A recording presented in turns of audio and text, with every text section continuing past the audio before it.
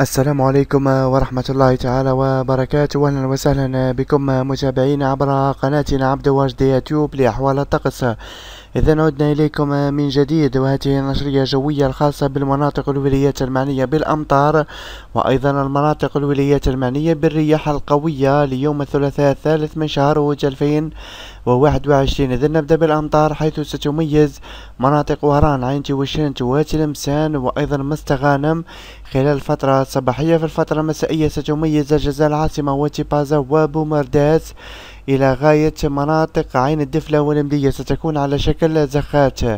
أيضا نذكر متابعينا بالرياح في الفترة الصباحية ستكون رياح قوية على السواحل الشرقية والسواحل الوسطى ولاية الطارف عنا بسكيك دجيجل بجاية زيوز بومرداس الجزائر العاصمة وتيبازا في الفترة المسائية. نسجل أيضا رياح قوية على ولاية تندوف في منطقة عبادلة ووصولا لمنطقة الثورة ولاية بشار.